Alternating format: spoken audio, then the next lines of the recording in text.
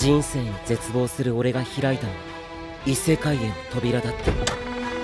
見たこともない世界でどんどんレベルアップしていく俺。しかもそれが現実世界の体にも影響するなんて。ゆうやさん王政学園に行きませんか？私なら付き合えるよ。ごめんなさい。いきなり巻き込んでしまって。こんな俺でも誰かの役に立ちたい。強くなりたいです。例えばこの世の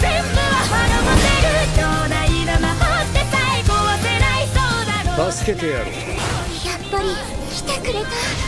ゆゆさ。んあの笑顔を守るんだ。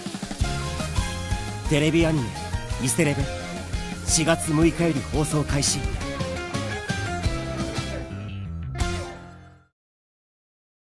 むむむむ無理です絶対。